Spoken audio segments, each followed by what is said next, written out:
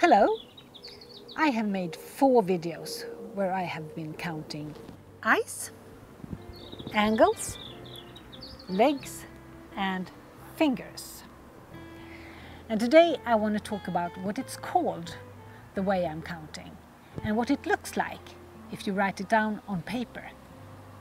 Let's start with the pets and their eyes. So here are some of my pets, four of them.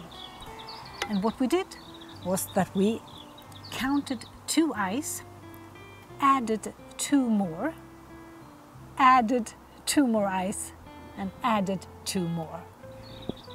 And that makes eight eyes. And we, when you add the same number repeatedly, it's called repeated addition. And it looks like this. Two eyes, and we add two eyes, we add two eyes and two eyes, and that makes eight eyes.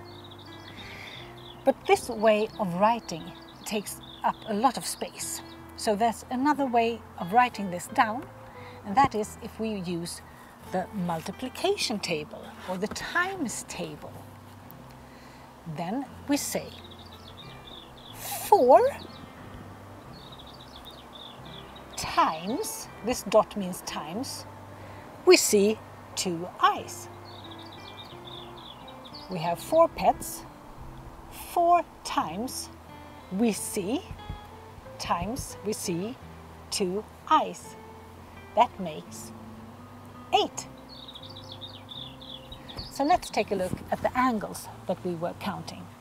So here they are, two of my triangles. Three angles here and then another three angles. And if we write this down, it looks like this. Three, and we add another three, and that makes six angles. If we use the multiplication table, we see that we have got two triangles and two times we see three angles. So we see six angles. So what about my animals made of cones? Five animals. And they all have got four legs. Four, we add four, we add four, and repeatedly add four and four. Repeated addition, it looks like this. Four, four, four, four, four. And this all together makes 20 legs. And if we use the multiplication table, it looks like this. 5 times we see 4 legs. And that gives us 20 legs. So let's look at the fingers. So here are three gloves, all with five fingers each. And with repeated addition, it looks like this. 5, 5, 5 makes 15.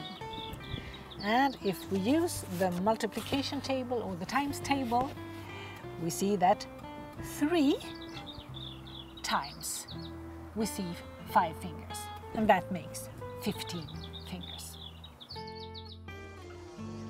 Count more. Free download in the description. Bye bye!